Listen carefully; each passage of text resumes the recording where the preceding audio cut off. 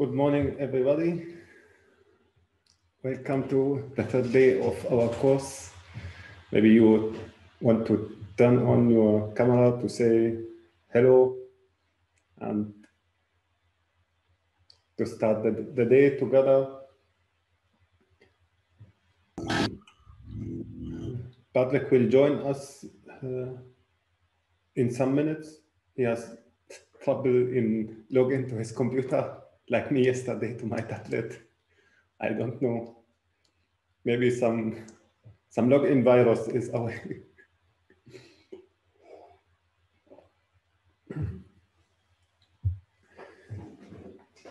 well, I hope you slept well and you are now ready to dive deep into the network uh, materials. And let me share my screen. So now you are looking at the timetable, right? And today is Wednesday. I'm going to present uh, you today with the second unit of, of network. Maybe I'll not finish it at or on time. So maybe I continue after the break a little bit. And then you will have time to work on uh, the implementation of CMPC in the lab. I changed the timetable here slightly, just added breaks today and tomorrow here and uh, yeah, renamed the, the, the names of the units here to lab CMPC and lab DMPC. So you during the lab work, you will be free to work whenever you would like, of course. Uh, but we will be there for you in uh, in the main room, and I uh, spoke to Patrick that we today are going to visit you in your breakout sessions. So you can expect our visits uh, maybe rather in the afternoon to check your progress and to uh, to chat a little bit with you. Okay, and for today, I have to go to the right slide. So the slides are already on share out. And yesterday,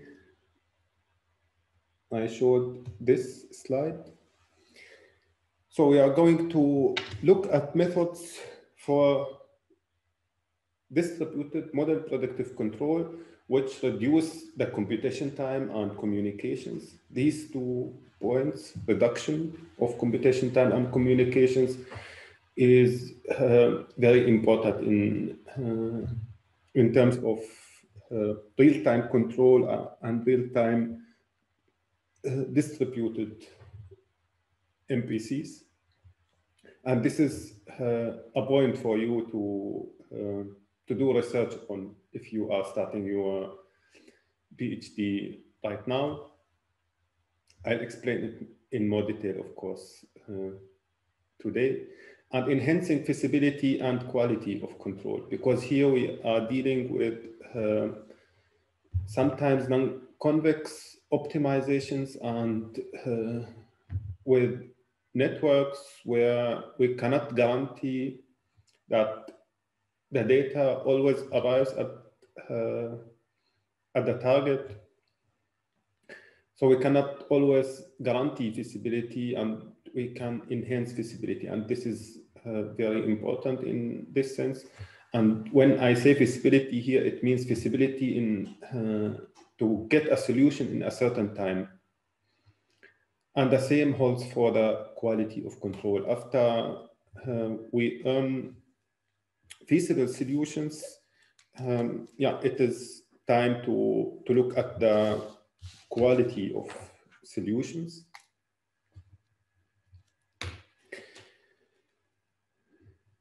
Yeah. And here So please pay attention to this slide. It's uh, going to be the basic formulation. All uh, following formulation will build formulations will build on. So this is the basic formulation of networked in MPC.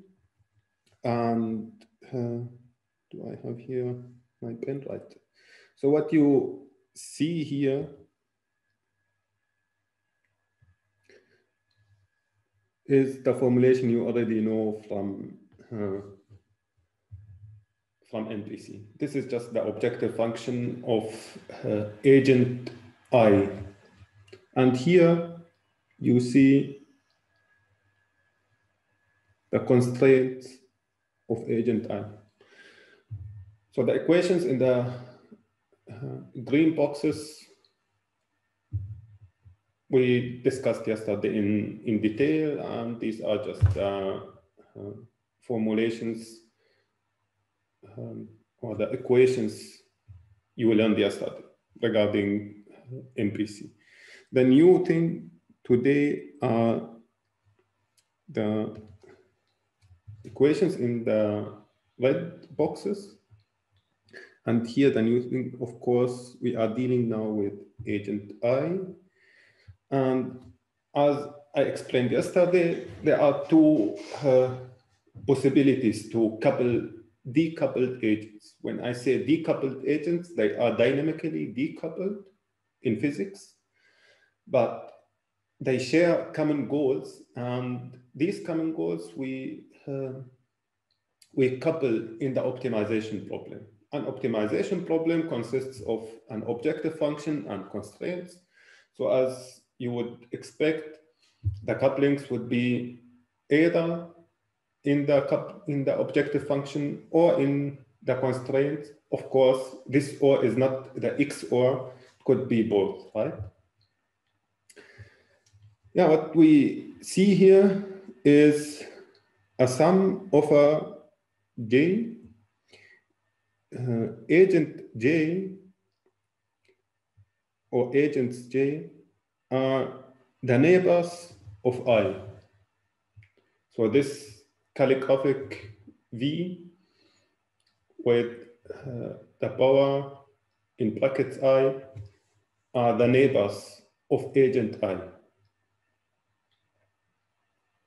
So we take the sum of the neighbors and here we couple them over the prediction horizon using a coupling function, CO like coupling and O like objective, coupling in objective between agents I and J. I is the agent we are optimizing for now, and J are the neighbors of agent I. And we couple the states here. This is a general formulation. It doesn't mean that we couple all states. You can put a, a coupling function between some uh, a, sub, a subset of the states of both agents. For example, for in the case of vehicles, we can couple um, their velocity or just their position, depending on, on our, our goal. And this optimization is subject to, we look at all neighbors of I, and we look at all passive agents. So in this formulation, we look at passive agents just in the constraints. If you would like to, you can also put them in the objective, but in, uh, in my definition, passive agents uh, don't act they are they provide just uh, information or data, and we consider them in the constraints. But if, if it makes sense for you, you can also put them in, in the objective. So and we look here at uh, the coupling between, okay, CC coupling in constraints between I and J, the states of I and the states of J in the prediction horizon. And here we see the coupling between I and passive neighbors. We again look at the states and again in the prediction horizon. So this is uh, all about distributed MPC. So the advantage of net MPC in general is dealing with the action of other agents with respect to their feature intention while making decisions of the agent's own control actions. This sentence just means we have in the green boxes our MPC and we, uh, we look also into the feature and at the same time we, we take in this prediction the agents, the, the neighbors, and the neighbors could be, of course, passive or active into consideration. Okay. So, is this uh, formulation clear to you? Okay. Um, yeah, please. Uh, for me, it's not uh, very, very clear. You have to turn on your microphone, Manel. You are not hearing me. You are not no. ah. I can hear you. Are you hearing me now? No. I can hear. Ama bilgisi beraber istedim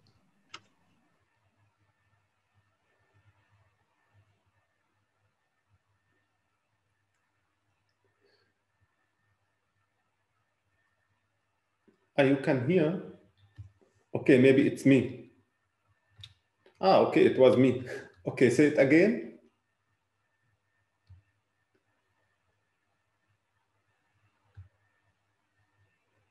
Just. I will try you. Ah, okay. yeah, okay. Are you hearing me now? Yeah, yeah.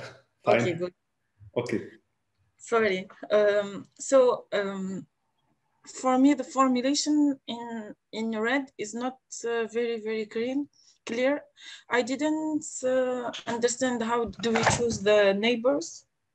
Uh, I mean, say it again. I I did I don't we choose neighbors. I mean, uh, it is. I understood just neighbors, but I didn't understand the word before neighbors. Uh, how do we assign neighbors?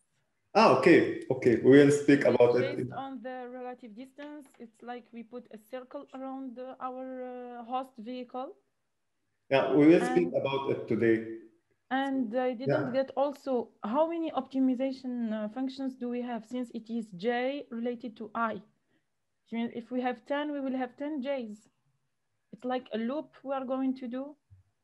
Yeah, yes, man. this is just the basic optimization problem formulation. This is not, uh, I'm going to speak about uh, your questions. I'm going to answer your okay. questions in the next slides. Okay, thank you. So, uh, the good news uh, from your question is that you are listening.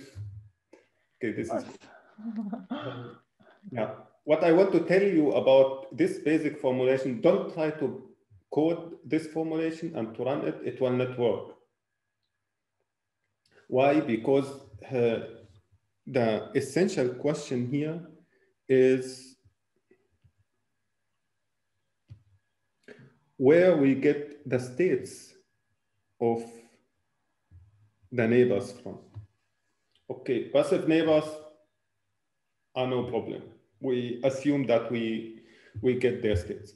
But where we get the states of uh, of the neighbors from which states we we use in in this optimization problem and this lecture is going to be about this topic which neighbors we consider and uh, where we get the states from okay but first okay. You have to wait a little bit Mariam.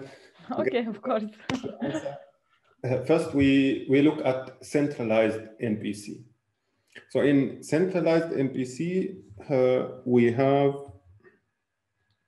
okay, um, blue is good, right? So we have a center for computations. And the red edges uh, are the coupling graph between the agents.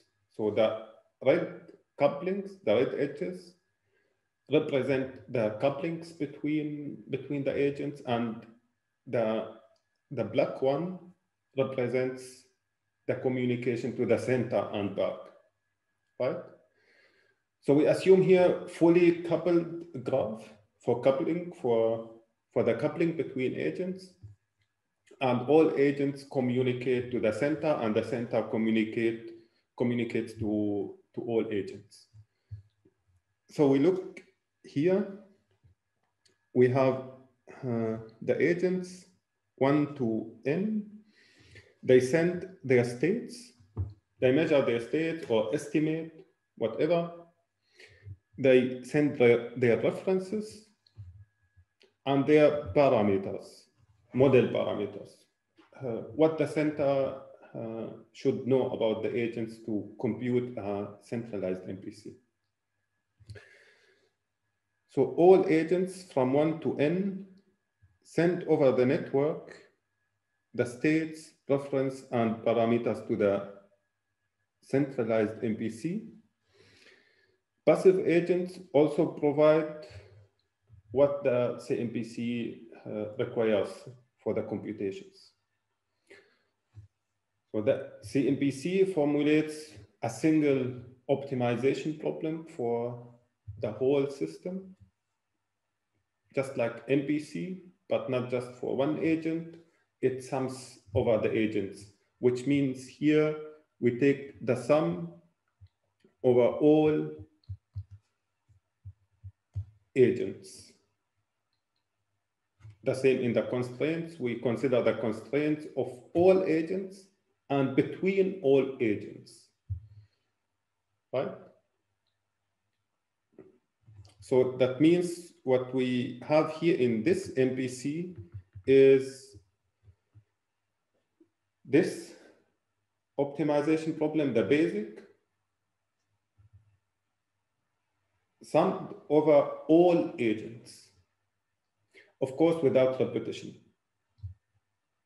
right?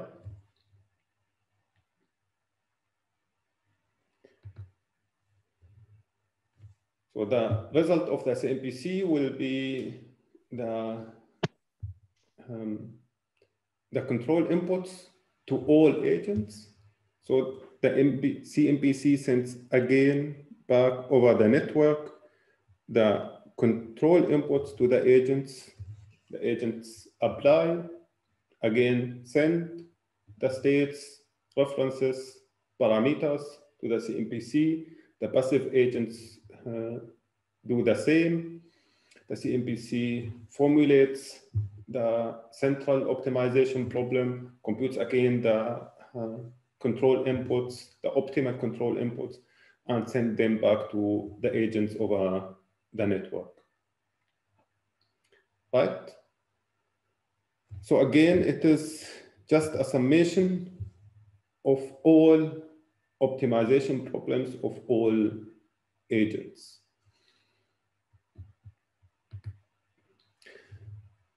So the uh, good news is going to be optimal, the solution. The bad news, it's not applicable in practice due to high computation time, as you could assume.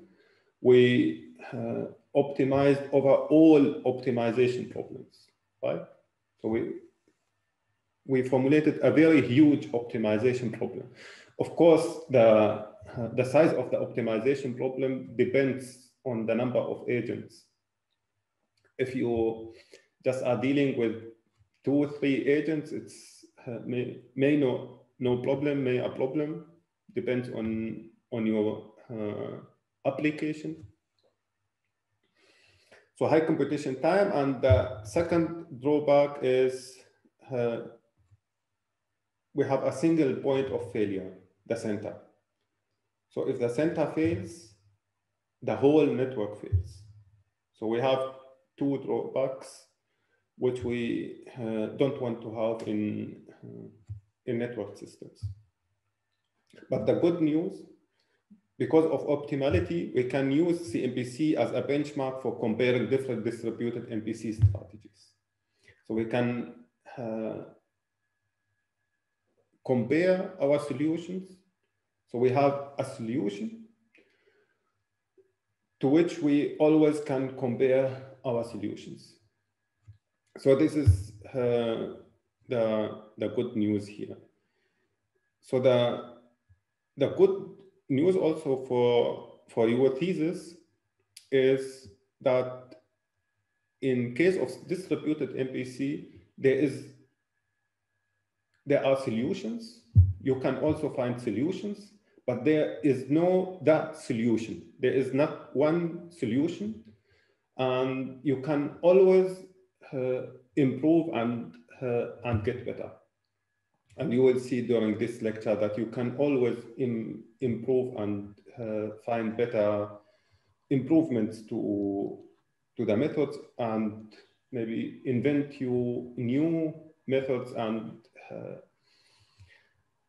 and improve them. And you can also, uh, in in such cases, you can go to conferences, go to the stage, and say, "I have a better solution," and every everyone will will pay attention.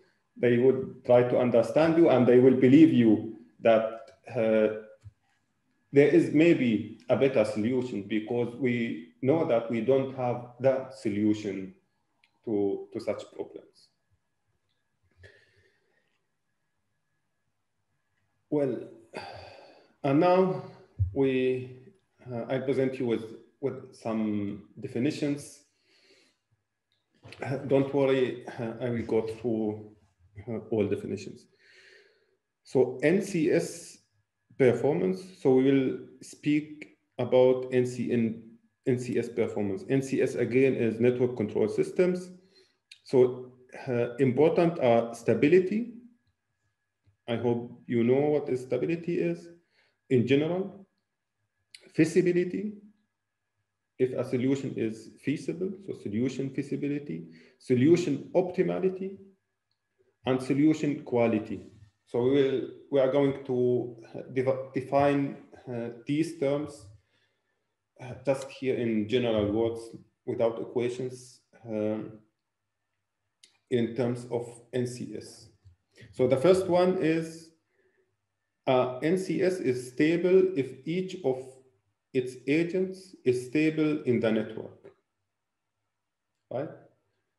That means uh, not just every agent in terms of its controller is stable, but also each agent in, is stable as a part of, of the network.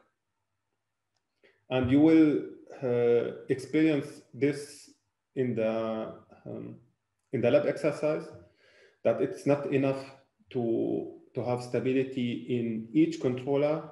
You should consider this controller as a part of the network. The second definition here is a solution is agent feasible if each agent's controller generates a feasible solution in terms of its own optimization problem. So we look at, uh, at each agent separately and uh, look at its optimization problem. Do we get solution or not? And uh, yeah, the Solution is agent feasible if we get a solution there. Uh, in convex optimization problems, if the optimization problem of MPC is convex, this is in general no problem. This is uh, getting more problematic in, in sense of uh, non-convex optimization problems because there we cannot uh, guarantee that we get a solution um, yeah, this is actually enough that we cannot guarantee finding a solution in at all.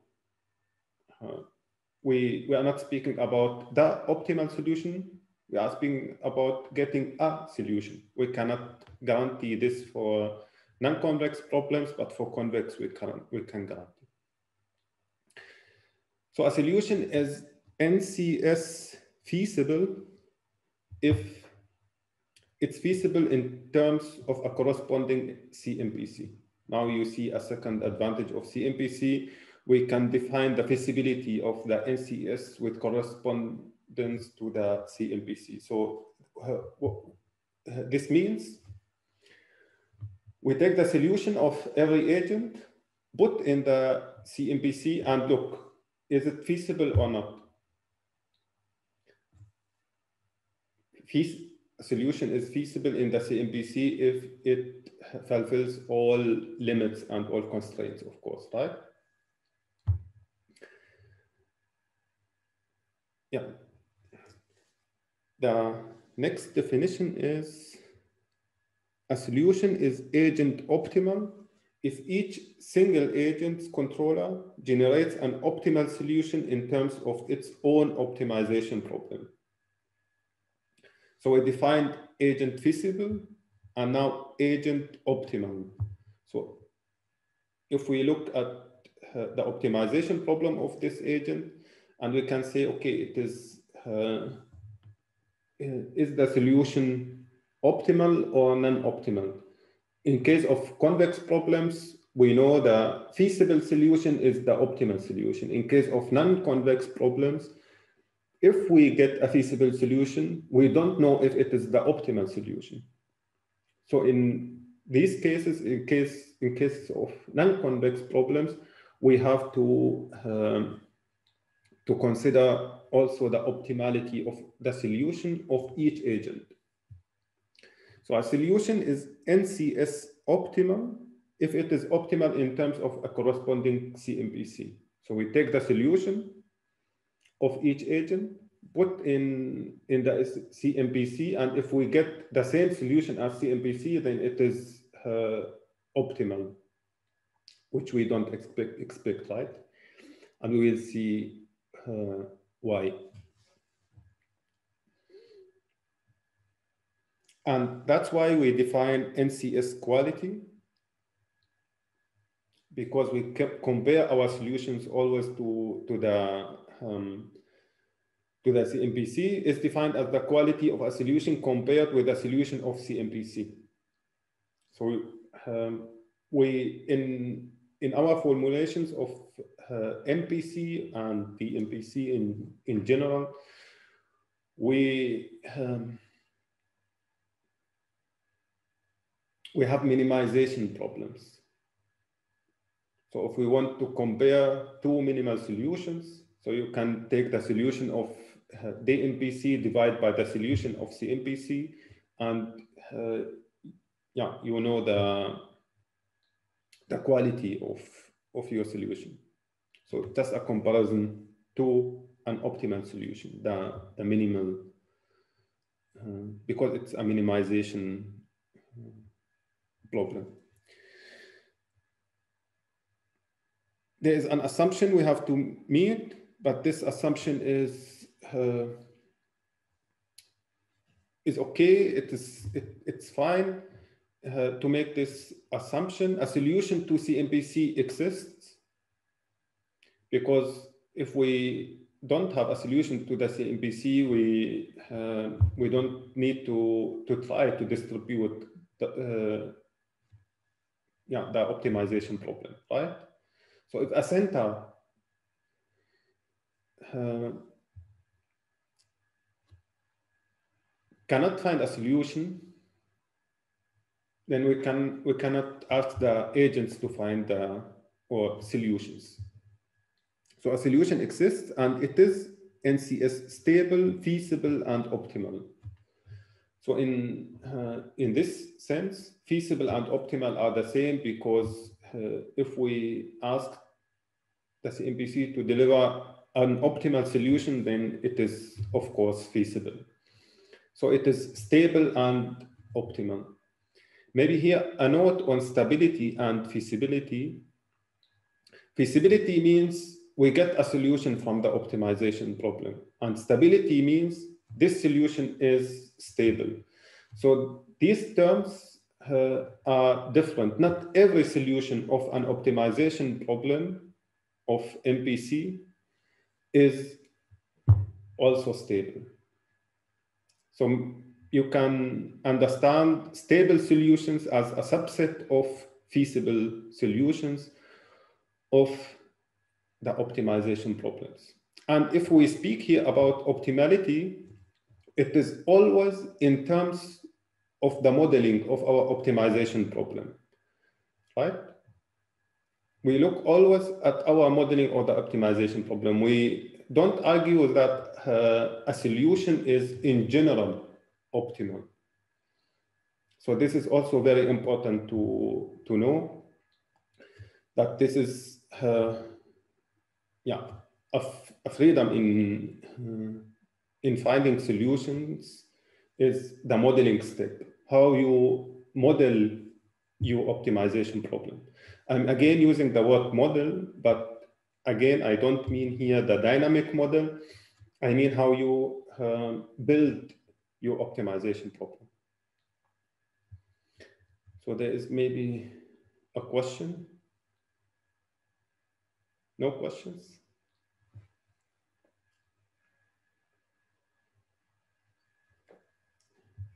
Okay, then we continue. So we looked at cooperative distributed MPC. So the first distributed MPC. So we look at, at the graph and here we choose a communication graph which coincides with the communication graph. So coupling and communications are the same here. So that means every two coupled agents can also communicate, which is a basic uh, assumption. Uh, sorry, sir. Um, even previously, when we you showed us uh, the previous diagram, what do we mean by coupling? The red, uh, the red um, lines that uh, that uh, lies between the agents. Yeah, coupling means that the agents share a common goal for example, uh, for example, for uh, trajectory planning, it is collision avoidance. Okay. Yeah, but in general, it is uh, a link between the agents and they should collaborate to or cooperate or do something together, network to uh, to do something uh, common. Okay, thank you. Welcome.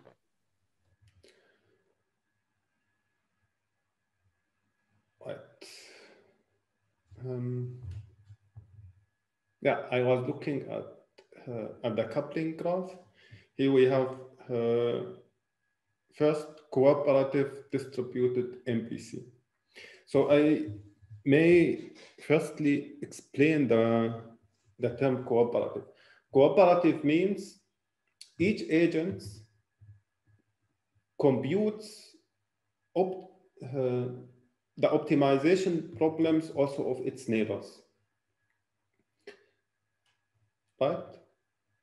So I uh, maybe explain it here in terms of directly optimization. So the optimization problem of agent one is its own optimization problem plus the optimization problem of two plus the optimization problem of three plus the optimization problem of four. And in each agent, we have uh, the same again. So you may now ask, what is the difference between centralized and uh, cooperative, DMPC? And the difference will come now. Alpha 1, 2, alpha 1, 3, alpha 1, 4. So the difference is that we take the actions of neighbors into consideration here by optimizing uh, their optimization problems, but we take them just partially into, into account. And Can I ask a question? yeah, So why do you include the optimization problem of agent three in the in the one that calculates agent one? Because one and three are not connected in this figure. yeah, you're right. This would be my next point. Okay. So uh, this is gen the general form formulation of uh, first CMPC, and I put uh, the alphas, and alpha is something between zero and one. So if it is one, it turns the CMPC optimization problem. If it is zero, then there is no coupling or no communication between uh, the agents. And in case in case of three, there is no um, no coupling. Means here uh, alpha one three goes to to zero. Uh, Sorry, so- one more question.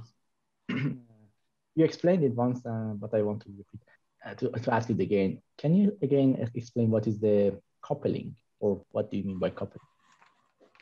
Okay, uh, coupling is uh, sharing a common goal. For example, if uh, if we have uh, here, I'll take just just an example, right? Here we have two vehicles driving towards towards uh, each other.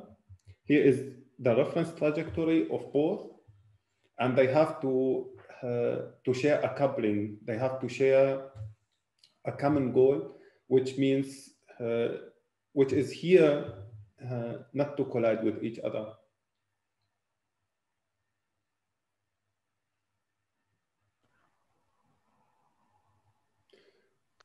So a function, isn't it is it isn't it the goal of the entire system? I mean, all V1, V2, V4, V3, they are aiming not, for example, colliding. the, the coupling is between agents. Um, the coupling here, a coupling between one and four, one and two exists, but not between one and three. A coupling exists between two and three, and three and four, two and four also.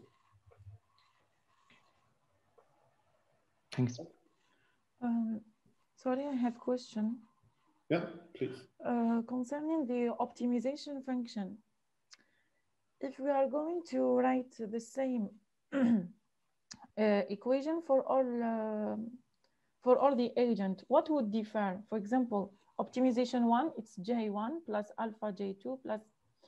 If I'm going to write the same for op2, for the agent two, it's going to be the same. It means nothing will change. Uh, no, for for two, uh, we can write it down. For two, we have two plus uh, alpha two one j one plus alpha two four j four plus alpha two three j three. So you see the the difference.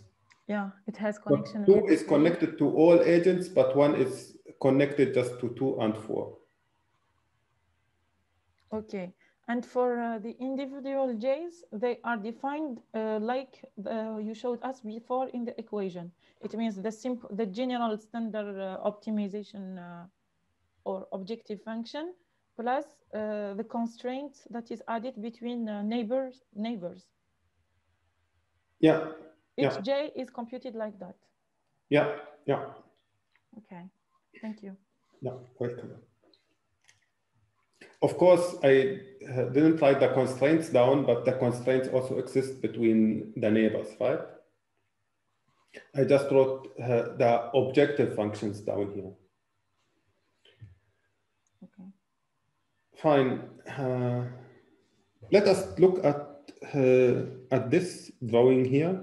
Here we have agent I and its controller. You see here the feedback.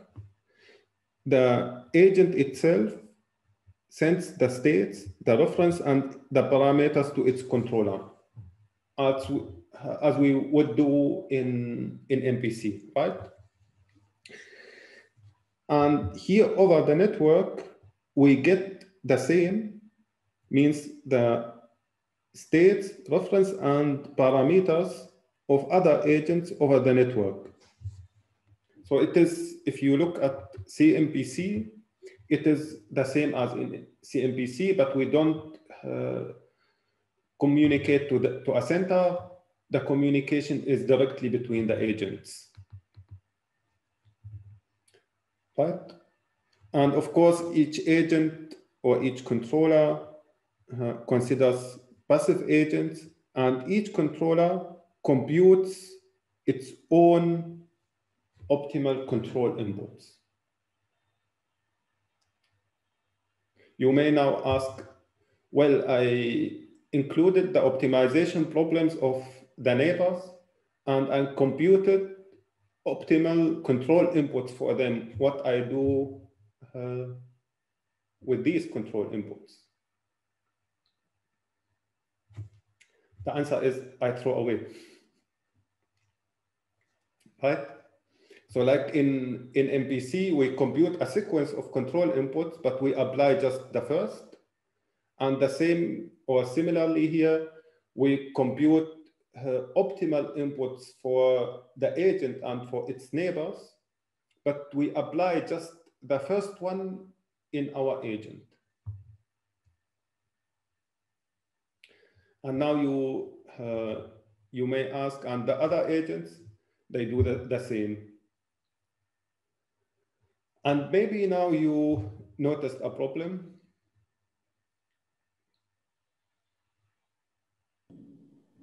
Uh, sorry, I have a question. Uh, Please, Shao.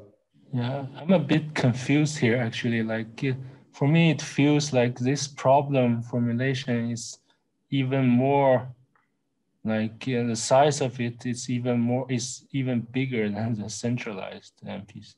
If I don't, uh, I'm not sure if I'm like if I understand it correctly, but like each of this J, is it just the objective function or is it the, the optimization problem itself? Yeah, it's uh, Because I feel like you, you, you if it's object, uh, if it's optimization problem, then you like kind of like repeating part of the like overlapping yeah problems again and again. yeah yeah i'm uh, going to speak about this point in in a minute. So here you're, you're right. If we sum the optimization problems in each agent then we have uh, yeah more effort let's say because we don't uh, solve one optimization problem we solve many optimization problems and uh, but each optimization problem of cooperative DMPC is smaller than the one of CMPC. So uh, I may write like this. So optimization problem of, uh, of agents, of each agent is smaller than the optimization problem of the centralized MPC. Means here the size of the optimization problem. And the size, uh, of course, corresponds to, uh, to the computation time. Right? So what people do here, and this is the point I'm going to, uh, to speak about now. People say, well, if I want to uh, consider all agents in the network, then I get the optimization problem of, of CMPC. And it's again, huge optimization problem, big computation time, what I can do. And uh, there is um, common definition in literature some people say, okay, let us not optimize all uh, for all agents in one agent, which means uh, let's take uh, agent one. So agent one would optimize not for all agents in the network, but just for the neighbors, the direct neighbors, and it considers the couplings between the neighbors, right? So means from the point of view of agent one, this network exists, right? From the point of view of agent two, the whole network exists because all are neighbors here, right? Um, maybe other color from the from for V for agent three, this is its network. And for, I don't know, maybe this is a good color, right? Yeah, this uh, like two, it has the, the whole network. The whole network minus the the two uh, edges. Or- Yeah, in it in in two and four in this example, we have the same optimization problem as in CMPC, and in agent one we have the optimization problem of uh, one, two, and four, and in three we have the optimization problem of three, two, and four. Can I also ask another question? Yeah. Um, if you write for the optimization problem of one J4, would that also involve the coupling of uh, agent 4 with its neighboring agents, so also coupling with agent 3, etc. So one should know with whom 4 is coupled. Yeah, this uh, yeah, this is a question here. Uh, I mean, your questions are all all good questions, and you they they could be also research questions for yeah for good uh, PhD thesis. Um, yeah, the approach I uh, I presented now that each agent considers its own optimization problem and the optimization problem of the neighbors and of course the couplings between the, the neighbors uh, is one approach. Uh, people ask, okay, first, be, before continuing, I would like to, to, to point out the problem here. Do, do you see a, a problem in this approach?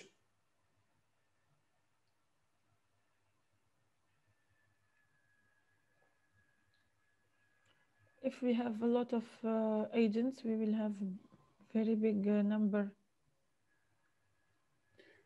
I mean, as soon as the number of agents increases, it converges to CMPC.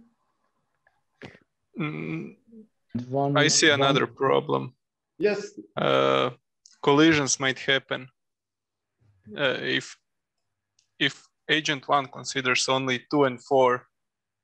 It cannot account, as Dennis said, for number three.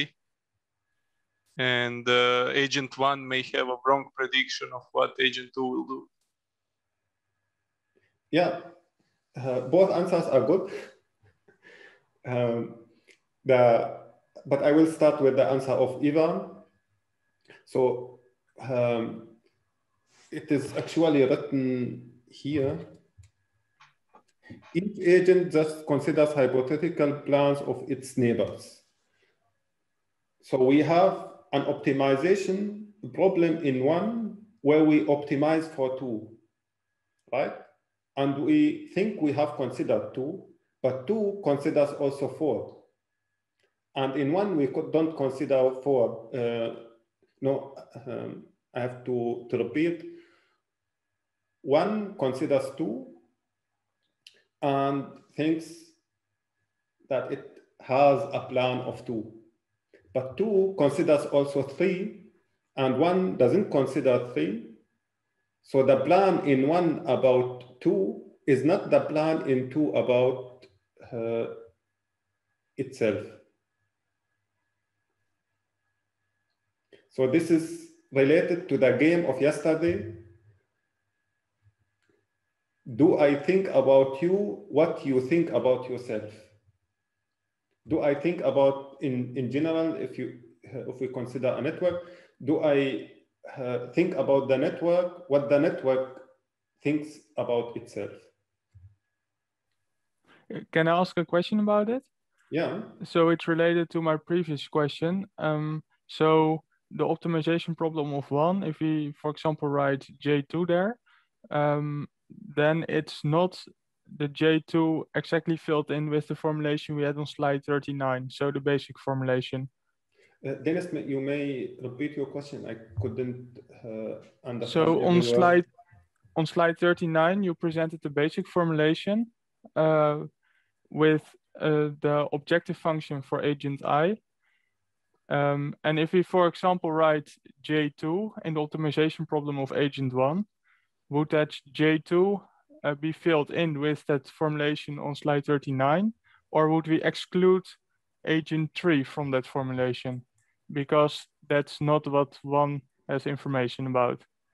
Yeah, if you would like to see the equations, they are here. So uh, it, of course, one excludes three from its optimization problem. So one considers two and four. So here you see the, the general form, formulation. Here we have the optimization problem of, uh, of agent I. We optimize uh, for the whole network, for the whole network from the point of view of agent one, of course. Yeah, here we have uh, the normal MPC of, of one and here. So here the, uh, the evaluation until HP minus one and here the evaluation of, of HP. Yeah, and here we have uh, its uh, decision variable. And here we start with a network. And here we, we consider all neighbors with alphas. And here we have the optimization pro- uh, problem of the neighbors first. Yeah, it equation uh, 319b is the same as 319a. Uh, we just changed the index from i to j, and here we have the coupling between i and j. And we write it down for all neighbors of, of i. So this is not recursive in the sense that um, the optimization problem of two that is considered in agent one also involves the coupling of agent two and agent three. Yes, it involves the coupling of two and three, right? So In agent Uh, one, yeah, uh, no, no, not two and three. I uh, yeah, between two and four.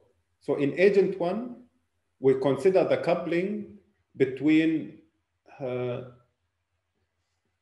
in one, we consider the coupling between two and four, but not the coupling between two and three, because Okay. we don't have information about three. So Yeah. first, here we have the normal MPC of I, the normal MPC of J, of the neighbors, right? And then we can consider the couplings. I cannot consider the coupling between two and three if I don't have information about three. Right? Yeah. Sorry. Yeah. Uh, the coupling that you mean here is only between uh, one uh, and two and one and four. Say it again, between one and two and one and, one four. and four. Right, right, right. Uh, no, between one and two, one and four, two and four.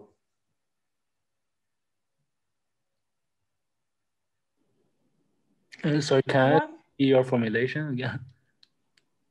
Can you switch back to your formulation? Yeah, please. Uh, I mean, can you switch back to, to the previous page with your Ah, here you mean?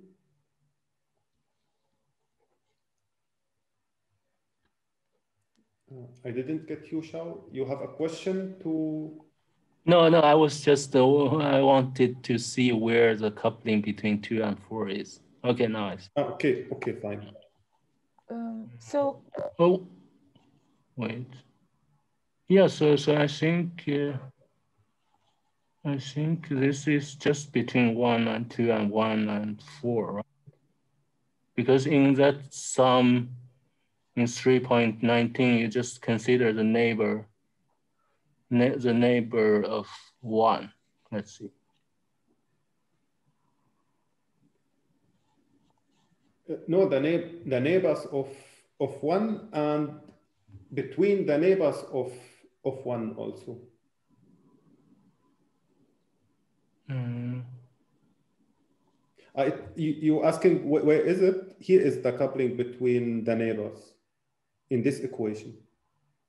So here, equation 319c is the coupling equation. And here, the first part of it is the coupling between i and j. And here is the coupling between the neighbors.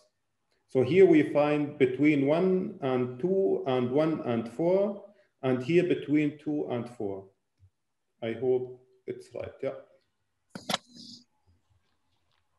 Uh, may I say something that I don't quite understand? I'm not really sure uh, about the B part of the equation because if you go to the other slide, uh, you say that the exchange of, information is about the states, the position, and all that. And uh, equation 3.19b uh, assumes yeah, that agent I knows the optimization problem of agent J. For example, the, the term LX J, because I mean that the agents exchange the, their states, right? If Yeah, you go to the other slide, they, they exchange the, the, their state. So, Yeah, they exchange The- states, reference, and parameters. okay, so based on this information, how can we assume for agent I that we know the optimization problem or the formulation of the optimization problem for agent J? This is my question. Okay, we have the because this is not because this is not communicated in this graph at least Be- Are bec- we- i mean i mean i under, i understand in the equation number c i understand the coupling because it's for example it can be a quadratic term that says okay i get the state of the other agent and then based on this term i want to keep a let's say a, a, a distance between him so it's an attractive or a repulsive uh, force, let's say. This part I, uh, I understand, but in order for me as agent I to be able to solve the optimization problem of agent J, it means that not only I need its state and this information shown in this slide, but also I, I, I, he has to tell me what is the objective function that he is using. Okay, I'm assuming here, of course, you're totally right. I'm assuming here that uh, the, the objective of the network is, is known to all agents. For example, Okay. Here, uh, the following of a reference, uh, maybe um, you don't see my cursor. Okay. Yeah, here, for example, here following a reference trajectory and don't collide with each other is uh, known to all agents of course. Okay. Yeah. So, okay, so each agent assumes that they solve the same optimization problem from each other's perspective, though. Yeah. This is what you mean. It- Okay. um, yeah, the same optimization problem. You have to be uh, to pay attention to to to to this. Uh, it is not the same optimization problem in mathematical sense. It's the same optimization problem in uh, in the sense of uh, the goal, right? Okay, I I think you you understand what I mean. I think. So yes. all yeah, all agents uh, know what is uh, what is the goal in this network, right? Yeah, okay, thanks. Yeah, welcome. Thank you.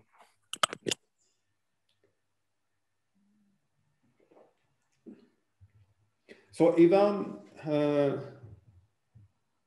you you said it right, and uh, before that, Manel said, "Ah, okay, uh, the optimization problems are very huge, and you both are right. Uh, first, we have the this problem, and second, uh, people ask, okay, why should I solve such large problems, as Manel said, if I don't guarantee finding a solution?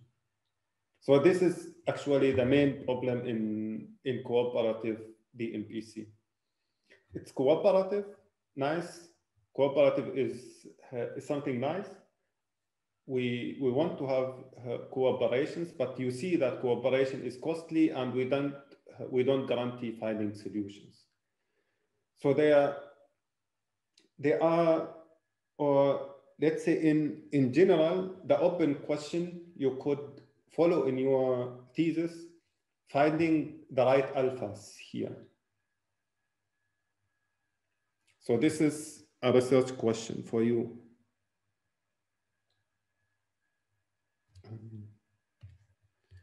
Yeah, but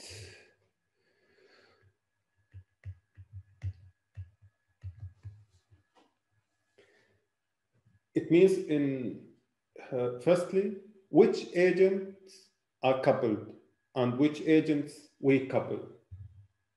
So I said it's an approach to reduce the computation time is to consider that just the direct neighbors. But if you continue and say, ah, okay, con considering the direct neighbors is not enough, I should consider maybe the neighbors of the neighbors. But how about the neighbors of the neighbors of the neighbors?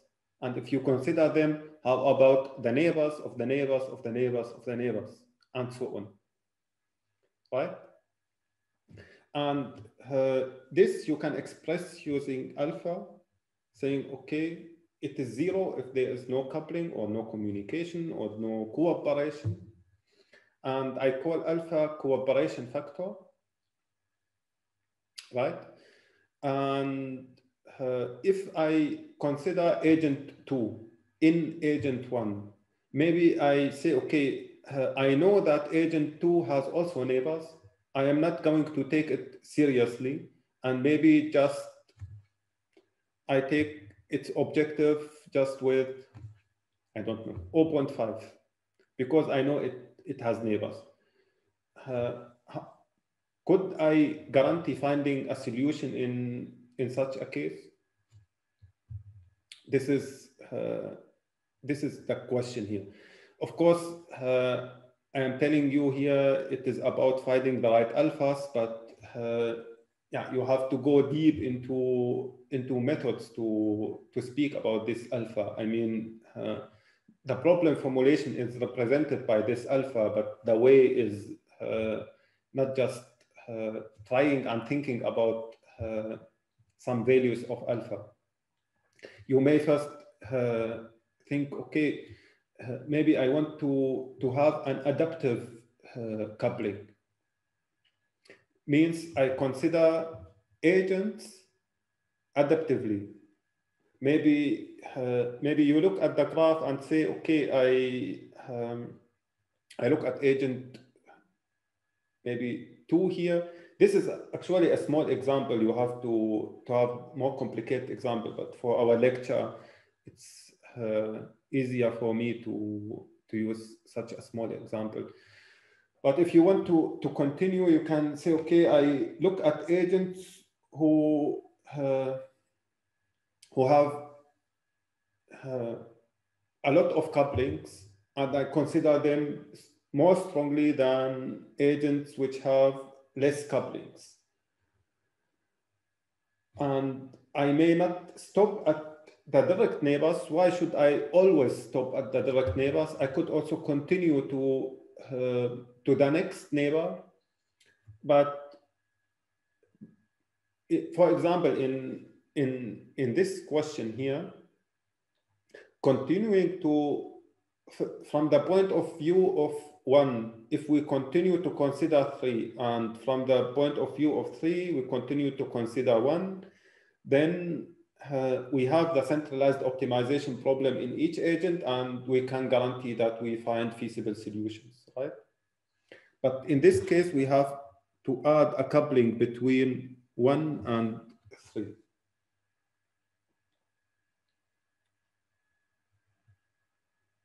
Do you have further questions? It's very interesting. This is uh, a concrete problem of the network thinking. I have a question. Yeah. Um, when considering the implementation of MPC, um, how would you decide? I mean, if you have a very powerful main computer in a lab that can access all vehicles or drones or whatever, um, then it may be uh, more efficient to calculate CMPC on this powerful computer than having these separate optimization problems on embedded hardware, right? Yeah. So yeah, uh, you're right.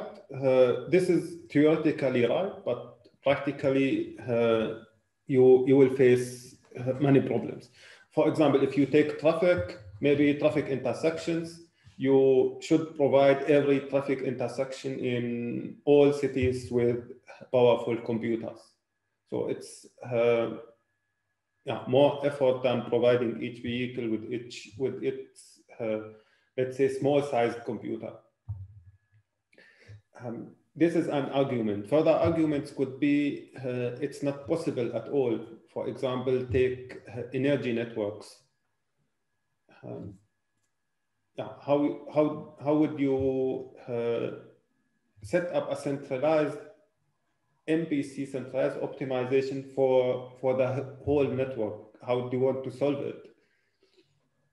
I, I would assume that the supercomputer of the world cannot do it. Yeah, okay. So you mean if it if there are really a lot of agents involved, then it's not possible to run CMPC anymore. Yeah, I'll I should show you today uh, an example where CMPC cannot be run. Okay. Yeah, thanks. Welcome. Uh, sorry, I have a question. Yeah. Uh, here in this small diagram, uh, the passive agent are the neighbors.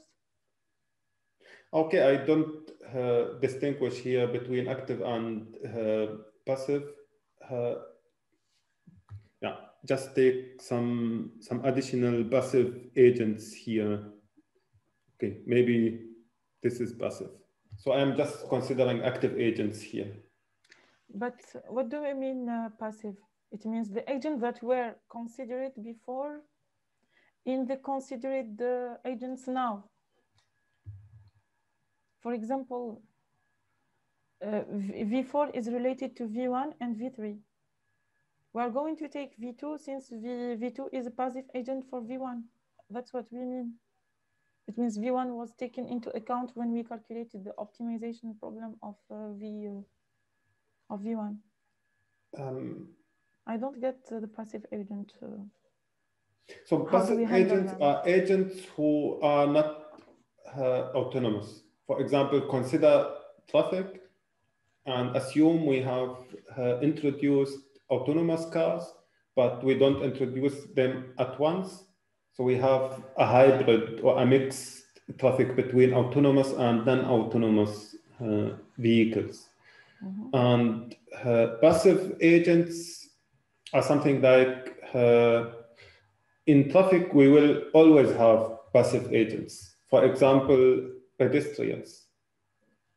How, how do you want to, uh, to, to consider them as, uh, as active agents? You have, uh, we assume here that we can control them.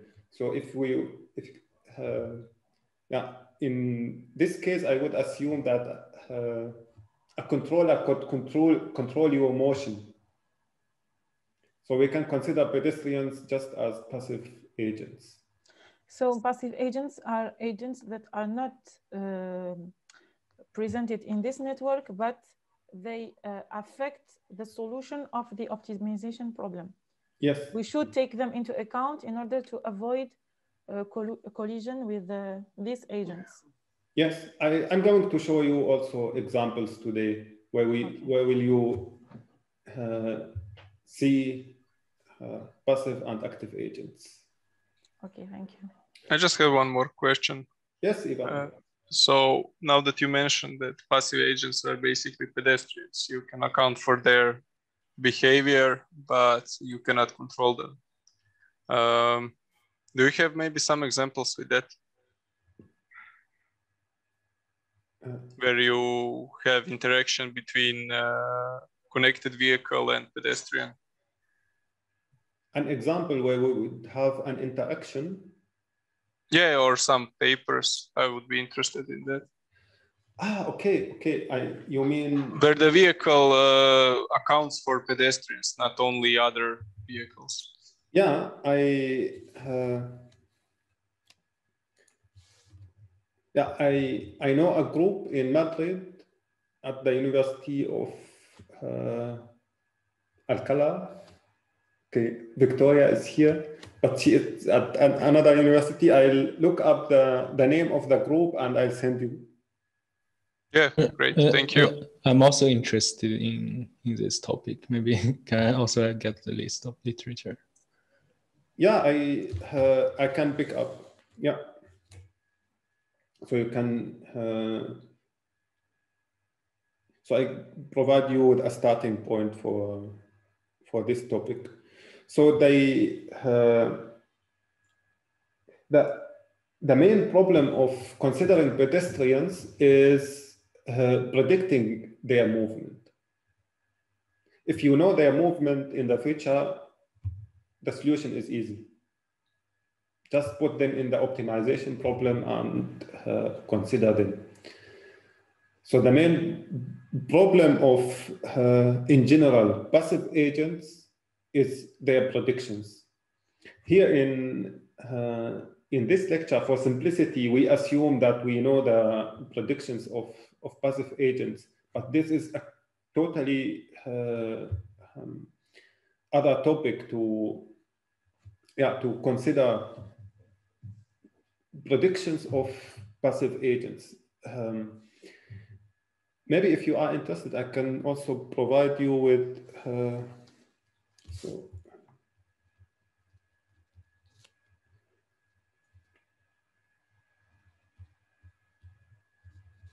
so i will provide also you also with literature uh, uh, also for um, in general, how to predict non um, the motion of non-autom uh, of non-autonomous uh, vehicles. Yeah.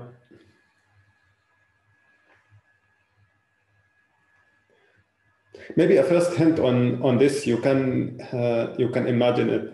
Uh, use the model we presented on Monday with velocity and uh, as input, x, y, and psi as states. And you can use this model for, for prediction, but uh, the question is about the inputs. Uh, for example, if you use, if we use velocity and steering angle as, uh, as inputs, the question is, uh, yeah, how the velocity and uh, and steering angle will evolve in uh, in the future. And yeah, in in general, you can uh, a way of modeling this is to model them in in sets to say, okay, I don't know exactly. It's something between I don't know 30 and 50 kilometers per hour, per hour the, the vehicles are going to, to travel with. And you can put this in the model and uh, compute uh, how this uncertainty would, will uh, influence the prediction. And um, actually, we are drifting from the main topic uh, also to consider um, a way is to do the, predict the predictions and to say how certain the predictions are. The other way is to consider this uncertainty in, uh, in control using robust control.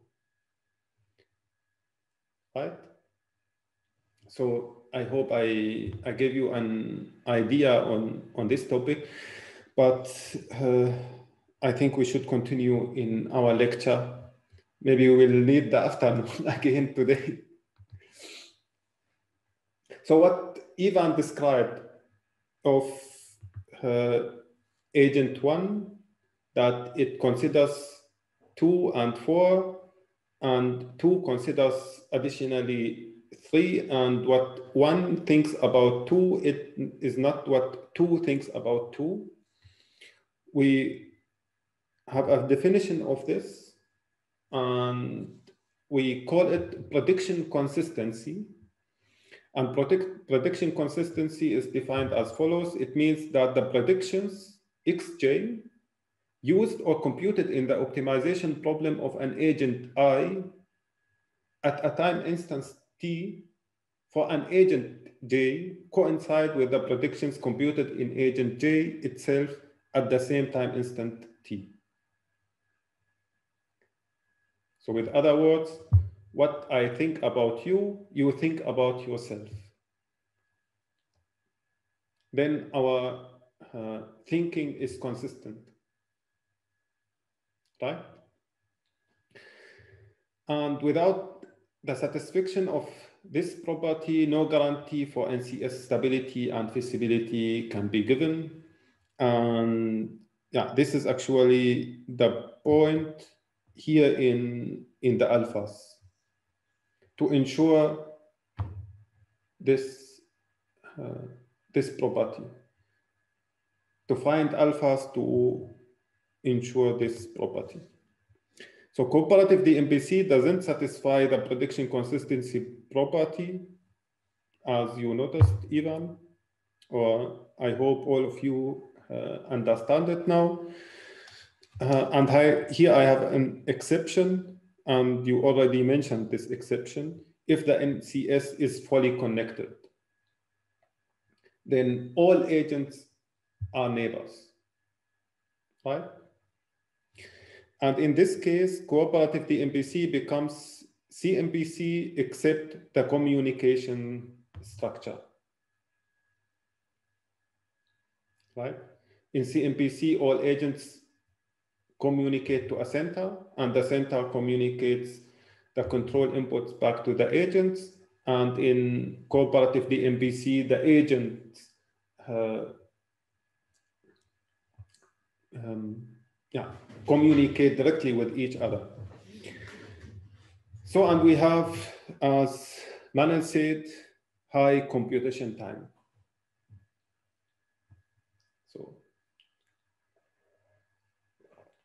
actually, this is all about um, cooperative DMPC and about uh, open questions uh, there. So possible solutions in, in the literature uh, are adaptively considering of neighbors, finding the right alphas. Um, uh, further possible solutions are iterations. That means uh, first try to find a solution in, in one considering two, and again uh, when, when, when two consider three, again consider two, or solve in one uh, after solving in two, and uh, yeah, in, in general, let's say the, the solution is to go for iterative algorithms. But Uh, we, Sorry, I yeah, have question concerning this um, iterative algorithm. Uh, so in here in uh, cooperative uh, DMPC, um, the opt- optimization is done uh, instantaneously.